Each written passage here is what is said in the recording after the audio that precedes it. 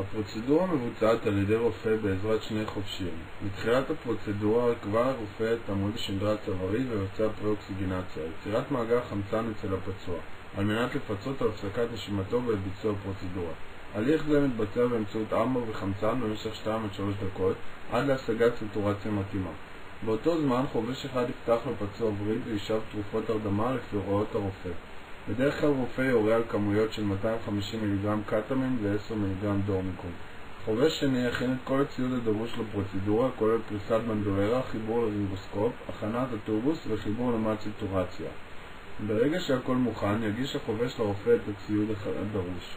החובש יגיש את הרינגוסקופ ליד שמאל של הרופא והוא יבצע לרינגוסקופיה על מנת שיראה את פני הנשימה של הפצוע בצורה ברורה. הרופא יכניס את הרינגוסקופ בצד ימין מעל הלשון, יגרוף אותו למרכז הפה ויחזיק את הרינגוסקופ לאורך הלשון עד לבליקולה. כעת הרופא יחדיר את הטובוס עד שהבלונית תעבור את מיתרי הקול, כשבאותו זמן חובש אחד יקבע את עמוד השדרה הצווארי. עם סיום החדרת הטובוס, הרופא יוציא את הגייד מהטובוס והחובש ינפח את הבלונית ב-10 cc של אוויר ויחבר במהירות לטובוס קפנומטר ואמבו. הרופא ינשים את הפצוע באמבו דרך הטובוס ויחזיק את הטובוס במקום עד שהחובש יסיים לבצע קיבוע של הטובוס על מנת שלא יברח ממקומו.